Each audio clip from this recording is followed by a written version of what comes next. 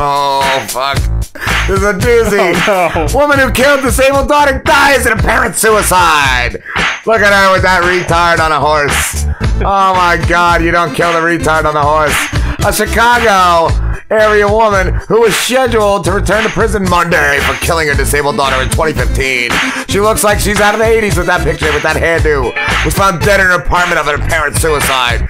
Frank Shufflin, a spokesman for Cook County Medical Examiner's Office, said 57-year-old Bonnie Liltz was pronounced dead on the scene Saturday evening. Dead on the dead of bunga. Why'd you kill yourself? You killed that kid, then you had to kill yourself. Why didn't you just kill yourself first? Right, Triz? I, I mean, I don't. I she's got to kill the kid first, like, because then the kid would still be alive, and it just wouldn't make any sense. Then the kid wouldn't be able to take care of itself.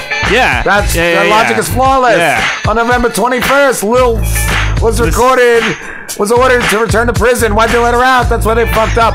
To complete the rest of her four-year sentence, she was reported. She was reported there Monday. This is a story that I wish the final chapter was happier. How could it be happier? Right, How could it end up being any happier than the way it did? The bitch killed herself. That's good. Her attorney Thomas Glasgow said Monday. He said Lilt's sister found her unresponsive in bed and called 911. 911 for the win.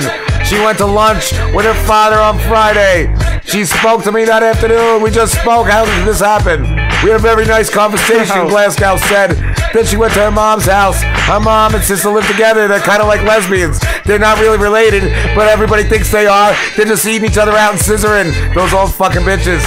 Yeah, yeah, man. I know that all lesbians are related.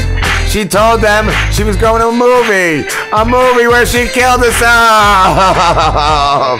Schaumburg Police Department Sergeant Christy Linner said we have no evidence of foul play and we do believe it was a suicide. Last year, an Illinois Circuit Court judge sentenced Liltz to four years in prison for drugging and killing a 28-year-old daughter. Why'd she wait so long? It would have been a lot easier if she was younger. In a failed murder-suicide attempt in 2015.